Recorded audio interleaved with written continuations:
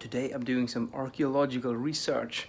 I found this old box in my garage with a bunch of old IDE hard drives with some backup stuff from like more than 20 years ago. And I don't remember what's on these drives so I started to just uh, fire them up and check it. And then one of them which I know has some stuff that is rare I don't have it anywhere else. And then I have this little USB thing that I connect. And then it says crunch when I connect it and I see that one of the solderings of the pins on the PCB itself got loose and then uh, I guess okay the drive is dead. But let's give it a shot I thought. So I, I took a pincer and then I bent that little pin over there. I don't know if you can see it. I shouldn't go too close. It's one of them. And it's just by spring force now bending down on the contact surface on the PCB and then I took an old some old laptop here that I'm not it's not valuable to me in case there is a short circuit. And I fired it up and it started.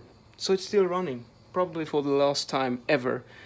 And I managed to start a big file copy here. So I'm just dumping everything from this drive onto another computer. And then we can do some then we can do some archaeological work on what kind of crap. It's probably just crap most of it but it might be fun if you find some old pictures or stuff like that because I, um, I, I think I have to do some kind of video where I check it myself 10 to 20 years ago and compare to the style I'm rocking today.